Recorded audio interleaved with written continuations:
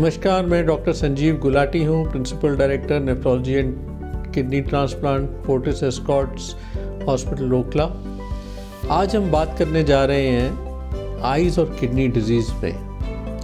ये आप जानते हैं कि आजकल किडनी की बीमारी बहुत तेज़ी से बढ़ रही है और इसका नंबर वन कारण है डायबिटीज़ नंबर तीन पे हाई ब्लड प्रेशर आता है, यानी हाइपरटेंशन तो आपको ये जान के सरप्राइज़ होगा कि जो earliest evidence of kidney disease होती है, उसके हिंट हमें एक अच्छे आई चेकअप से मिल सकता है।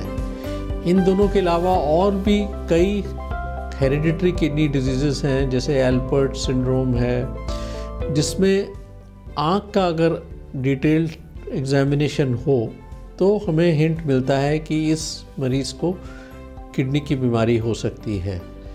तो इसलिए अगर आपको डायबिटीज़ की बीमारी है, हम सजेस्ट करते हैं कि आप ईयरली आई एग्ज़ामिनेशन ज़रूर कराएँ।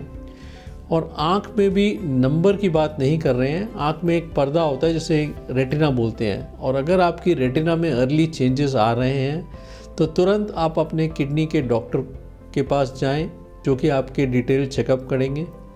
इससे हमें अर्लीस्ट स्टेज पे किडनी डिज़ीज़ की एविडेंस मिलती है और आप जानते हैं कि जितनी जल्दी किडनी की बीमारी पकड़ी जाए, उतना अच्छा इलाज होता है। यही नहीं, हमें किडनी बायोप्सी टेस्ट करना पड़ता है कई बार किडनी डिज़ीज़ पकड़ने के लिए। तो अगर हमें आई चेकअप से हिंट मिल जाए कि आपको डायबिटीज़ की शिकायत है तो आप किडनी बायोप्सी से भी बच सकते हैं। नहीं तो बायोप्सी हमेशा सबसे एक्यूरेट पे माना जाता है किडनी की बीमारी पकड़ने के लिए।